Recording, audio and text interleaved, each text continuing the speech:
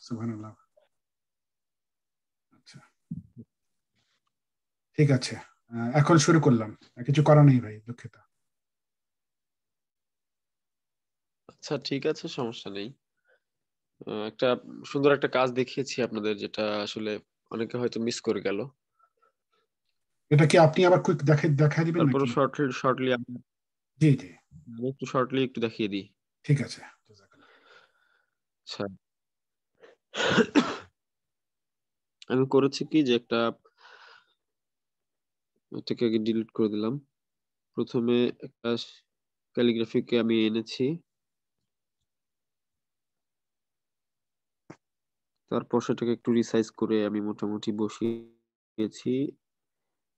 আমার যে ক্যানভাস আছে ক্যানভাসের সাথে সেম করে।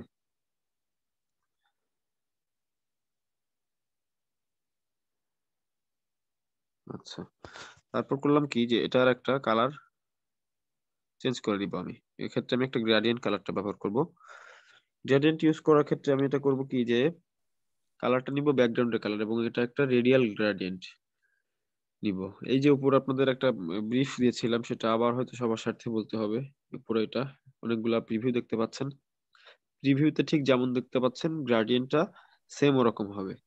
অর্থাৎ এটা যদি চুজ করেন তাহলে সাইড টু সাইড ট্রানজিশন হবে। এটা যদি সিলেক্ট করেন তাহলে হবে কর্নার টু কর্নার ট্রানজিশন এটা নিলে হবে রেডিয়াল ব্লার এই যেমন প্রিভিউ দেখছেন, ঠিক অনুরূপ সেম ওরকম একটা গ্রেডিয়েন্ট আপনারা পেয়ে যাবেন।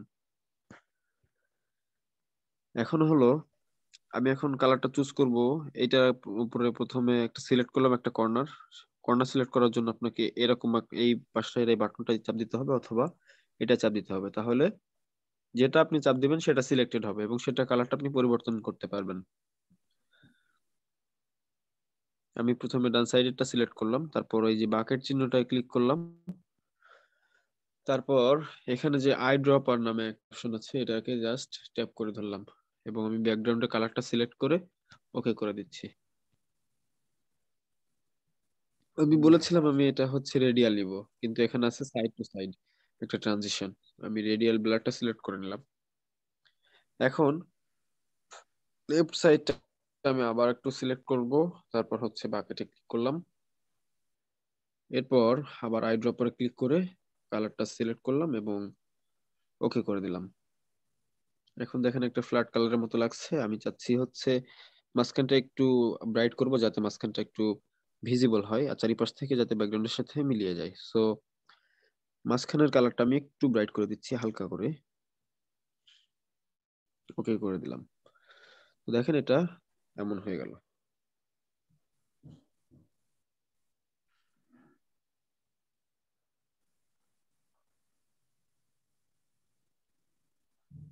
ওকে এরপর করেছি কি? আমি এরপর হচ্ছে শাইকের একটা ফটো নিয়ে এসেছি। এখন দেখেন শেখের ফটোটা নিচে থেকে গেছে, কিন্তু উপরে লেয়ারে আমাদের সেই ক্যালিগ্রাফিটা রয়েছে। সো আমি এটাকে সিলেক্ট করে এটা ব্যাক করে দিচ্ছি। ব্যাকে পাঠিয়ে দিলাম। একটু উপর করছি কেন? যাতে শেখের ফেস চেহারার আশপাশ থেকে ক্যালিগ্রাফিটার শেডটা বোঝা যায়। তাতে করে একটু ভালো লাগবে। পজিশন করে নিলাম। তারপর যেটা করব সেটা হচ্ছে, শেখের ছবিটা একটু সিলেক্ট করব। এখন শেখের মুখটা একটু আমার কাছে লাল টাইপের লাগছে। আমি এটা একটু ফিক্স করা যায় নাকি? এই অ্যাপটা ট্রাই করে দেখব। স্যাচুরেশনটা যদি একটু কমিয়ে দিই, হালকা একটু যদি কমায় তাহলে হয়তো কাজ হবে।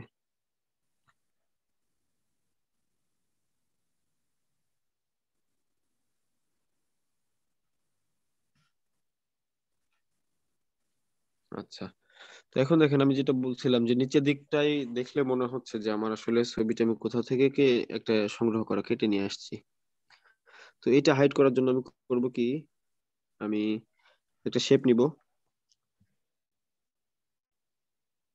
শেপ নিলাম। প্রথমে শেপে ক্লিক করে এখান থেকে একটা গ্রাডিয়েন্ট নিব এবং গ্রাডিয়েন্টের কালারটা দিব হচ্ছে ব্যাকগ্রাউন্ডে যে কালারটা নিয়েছিলাম সেম সেই কালারটা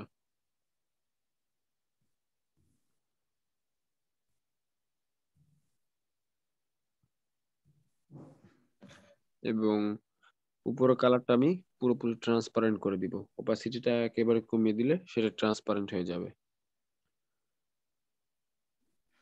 ওকে তারপর সেটা আমি আমার সুবিধা মতো রিসাইজ করে বসিয়ে দিব।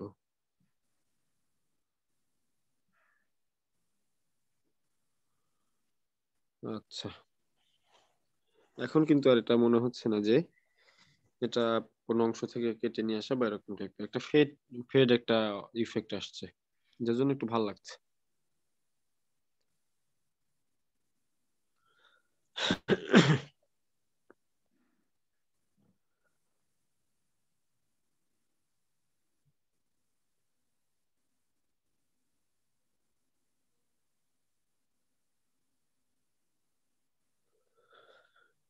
ওকে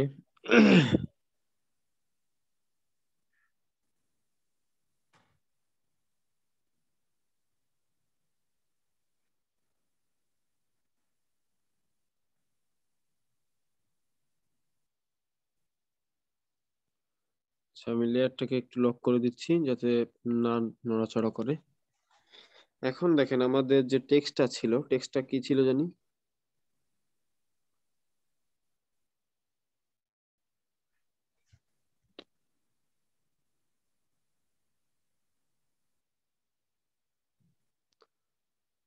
কসর নামাজের নিয়ম।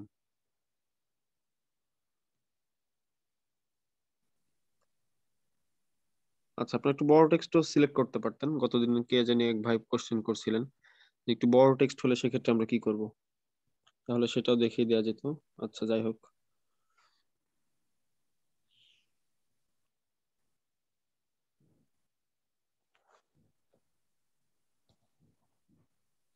এখন একটা টেক্সট আমি নিয়ে ফেললাম। টেক্সটের ফন্টটা একটু চেঞ্জ করব।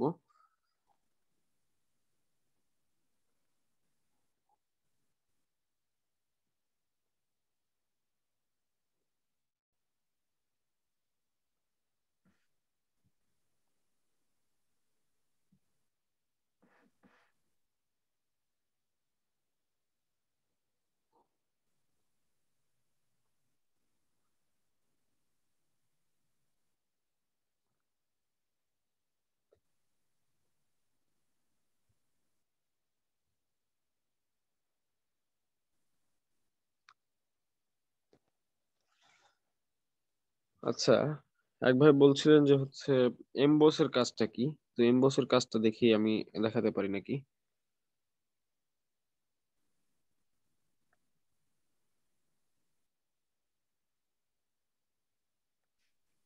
আচ্ছা এই অ্যাপটাতে মনে হয় বেশ কিছু বাগ আছে, এই জন্য এমবসের কাজটা ঠিকঠাক মতোই করতেছে না।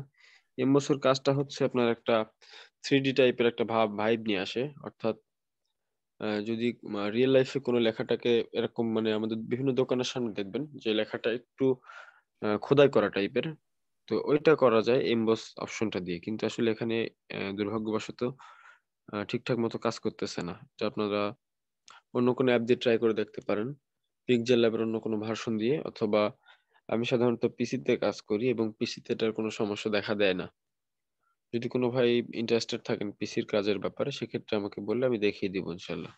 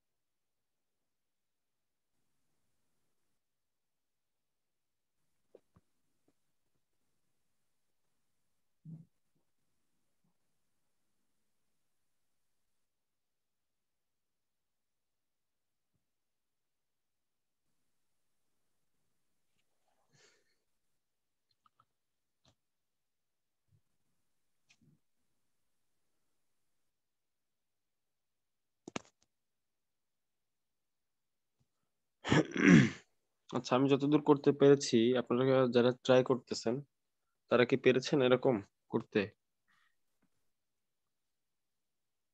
না ভাই আমি ওই যে ছবিটা আমার এখন সমস্যা হচ্ছে। আমার মনে আমি এই জুম থেকে বের হয়ে ফোনে লগ ইন করি কি বলেন তাহলে দেখাতে পারব আপনাকে। আচ্ছা তাহলে করেন সেটা। ঠিক আছে তাহলে আমি আপনাকে আমি ইয়ে করে দিই কি বলে হোস্ট করে দিচ্ছি। সেকেন্ড আচ্ছা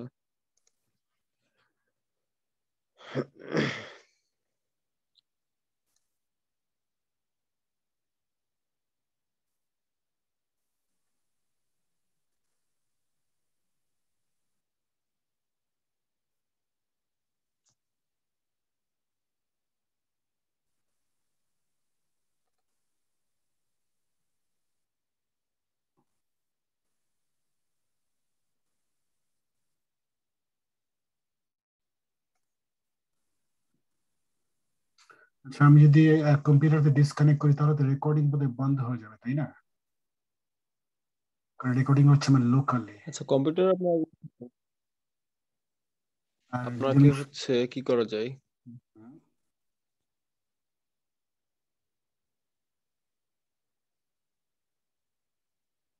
আমি ট্রাই করি মানে একো আসে দুই- দুইভাবে লক্ষণ খুব একো হয় আচ্ছা আমি ট্রাই করি। আচ্ছা।